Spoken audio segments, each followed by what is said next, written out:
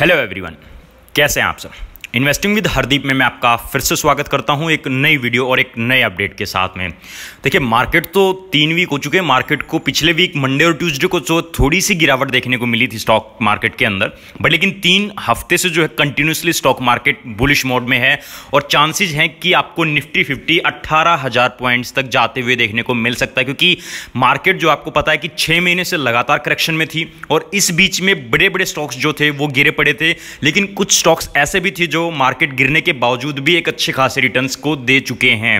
अब क्योंकि जिस स्टॉक की मैं बात कर रहा हूँ, उसको लेके मैंने ऑलरेडी बहुत पहले रिकमेंडेशन दी थी, लगभग लगभग डेढ़ महीने पहले। छब्बीस रुपये पे जब ये हो चुका था बोनस और स्प्लिट के बाद तीन सौ रुपये का शेयर छब्बीस रुपये पे जब ये हुआ सोलह जून को तो उस दिन मैंने जो है स्टॉक की रिकमेंडेशन दी थी कि आप इसको बाई करके चल सकते हैं, और स्टॉक ने छब्बीस रुपये से लेके अस्सी रुपये तक की रैली दिखाई। लेकिन यहाँ पे दो चीज़ मैंने क्लियरली बताई थी, सत्तर रुपये के आसपास, पैंसठ रुपये के आसपास, जो है मैंने इसको सेफली एग्जिट करने के लिए आप लोगों को सलाह दी थी। और एक चीज़ साथ में ये भी बताई थी कि अगर आप रिस्क ले सकते हैं तो लॉन्ग टर्म होल्ड कीजिए। फिर भी बहुत सारे लोगों ने सिर्फ़ ऊपर के लेवल्स पे जाने के बाद स्टॉक को बाई किया, क्योंकि स्टॉक जो है वो टी प्लस टू कैटेगरी में आता है और अब लग चुका है स्टॉक के अंदर लोअर सर्किट जिसकी हम बात कर रहे हैं, वो है शेयर ग्लैक्टिको कॉर्पोरेट तो अब ये गिरावट कहाँ तक जाने वाली है? शॉर्ट टर्म इन्वेस्टर्स को क्या करना चाहिए और लॉन्ग टर्म इन्वेस्टर को पैनिक होने के लिए क्या बचना चाहिए स्टॉक के अंदर या फिर अभी भी उनको भी जो है दिक्कत हो सकती है? इन दोनों चीज़ों के सवाल जो है इस वीडियो में आप लोगों को मैं आज देने वाला हूँ। कहाँ तक गिरावट होगी इसकी बात करेंगे, क्या सपोर्ट लेवल्स रहने वाले हैं और कंपनी को फंडामेंटली भी थोड़ा सा जानने की ज़रूर कोशिश करेंगे।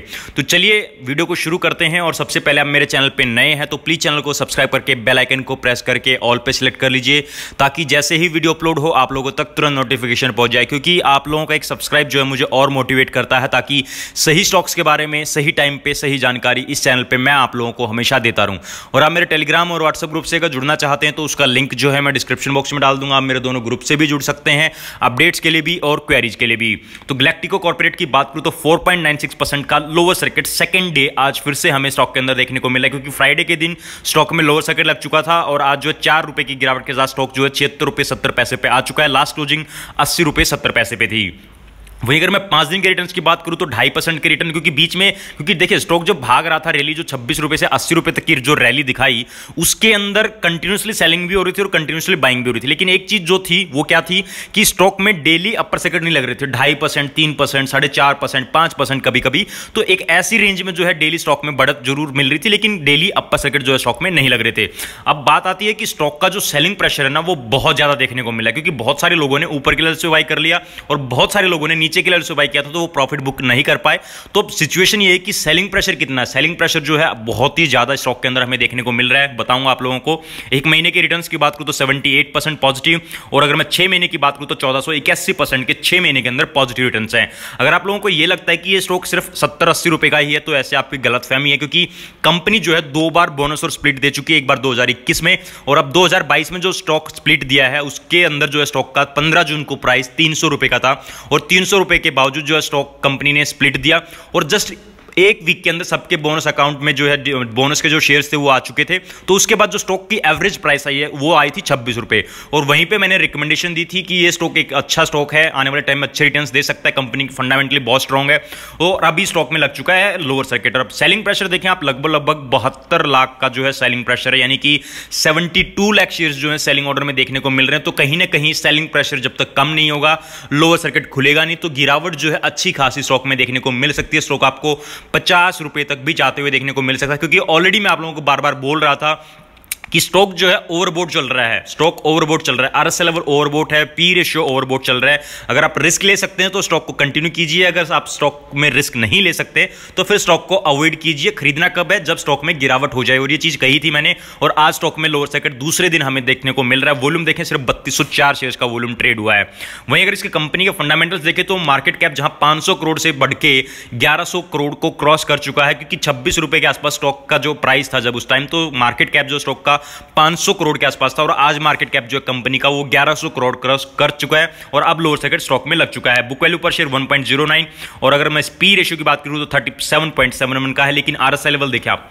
जब स्टॉक छब्बीस रुपए का तो आपको हल्की सी करेक्शन आरएसआई लेवल में बिल्कुल मिड में देखने को मिल रही होगी। और उसके बाद भी स्टॉक आरएसआई लेवल के हिसाब से आप देखिए हंड्रेड पॉइंट्स को टच करते हुए चल रहा था। और अब दो दिन के लोअर सर्किट के स्टॉक में जैसे ही लगे हैं, वैसे स्टॉक का आरएसआई लेवल जो है अस्सी पॉइंट से नीचे आ चुका है।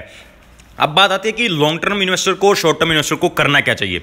तो शॉर्ट टर्म इन्वेस्टर क्या करेंगे? जिन लोगों ने नीचे के लेवल से बाई कर रखा तो उनको पैनिक करने की ज़रूरत नहीं है। जिन्होंने तीस, चालीस की रेंज में बाई कर रखा है तो वो पैनिक ना करें। स्टॉक जो है, ज़्यादा जल्दी इतना नीचे नहीं आएगा।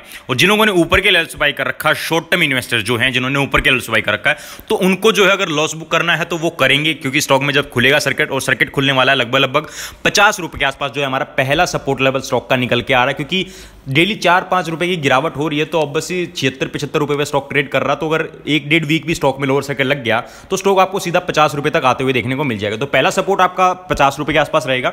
और लेकिन दूसरी बात है कि जिन लोगों ने ऊपर के लेवल्स पर शॉर्ट टर्म इन्वेस्टर ने बाई किया, उनको करना क्या चाहिए? अगर वो चाहते हैं कि लॉस बुक करना है तो स्टॉक जैसे सर्किट खुले, आप स्टॉक को बेच के निकल सकते हैं। दूसरी बात, जिन लोगों ने ये है कि भी हाँ नहीं, हमें नहीं बेचना तो वो इंतज़ार करें स्टॉक दोबारा से बाउंस बैक भी जल्दी करेगा, क्योंकि इस स्टॉक के अंदर वो पोटेंशियल है, वो कैपेबिलिटी है इस कंपनी के अंदर कि ये आने वाले टाइम में आपको बहुत बढ़िया रिटर्न दे सकता है। और फंडामेंटली बहुत स्ट्रांग है कंपनी प्रमोटर्स भी बहुत अच्छे हैं कंपनी के अंदर जो होल्डिंग्स उनकी भी परसेंटेज और दूसरी बड़ी बात की अभी तक इसके क्वार्टर वन के नंबर्स भी नहीं आए हैं। और एक और बात बता दूँ मैं आप लोगों को कि रेवेन्यू जो अच्छा खासा जनरेट कर रही है कंपनी लेकिन जो रेजिस्टेंस लेवल थे, देखिए नब्बे तिरानवे रुपए तक के रेजिस्टेंस लेवल थे, और जब थर्ड सपोर्ट लेवल है, वो सत्तर रुपए का निकल के आ रहा है। सत्तर रुपए दो दिन में आ जाएगा स्टॉक लेकिन जो मेरा पर्सनली जो सपोर्ट लेवल है, वो लगभग लगभग पचास रुपए के आसपास हमें देखने को मिल रहा है। क्योंकि सत्तर रुपए के आसपास तक तो आर जो है ओवरबोट ही रहेगा।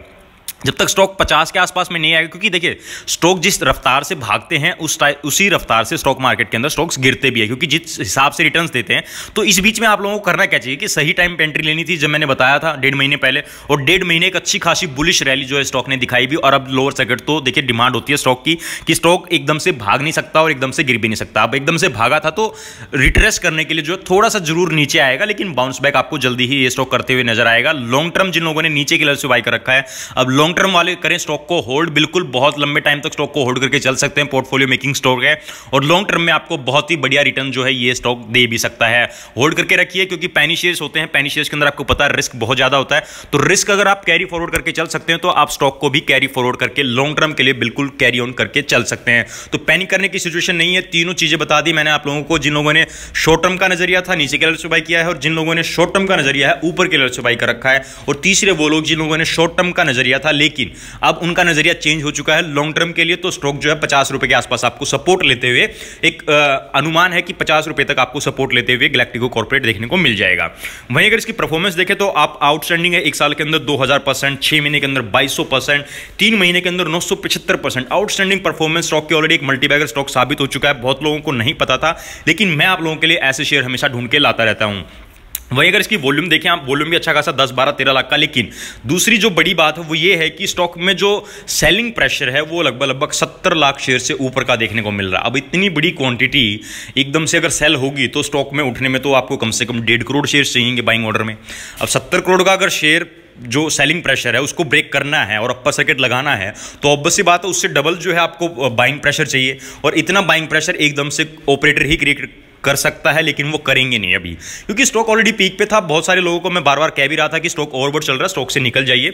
और प्रमोटर होल्डिंग देखिए स्टॉक की तो 71 परसेंट प्रमोटर है और 28 परसेंट जो पब्लिक है। तो लॉन्ग टर्म वाले भी ध्यान रखें और शॉर्ट टर्म वाले भी स्टॉक में अगर लोअर सेकेट हिट हो रहा है अभी अपर सेकेट जैसे ही लगेगा तो उनको लगता है कि भी नहीं, निकलना है तो मुझे स्टॉक को सेल करके निकल सकते हैं। बाकी कंपनी बहुत अच्छी है। लॉन्ग टर्म इन्वेस्टमेंट करके आप रखिए स्टॉक में, आपका लॉस भी जो है स्टॉक से रिकवर होते हुए आपको मिल जाएगा। आपको वीडियो पसंद आए तो वीडियो को लाइक एंड शेयर ज़रूर करें और आप मेरे चैनल पर नए हैं तो प्लीज़ चैनल को सब्सक्राइब करके बेल आइकन को ज़रूर प्रेस करें।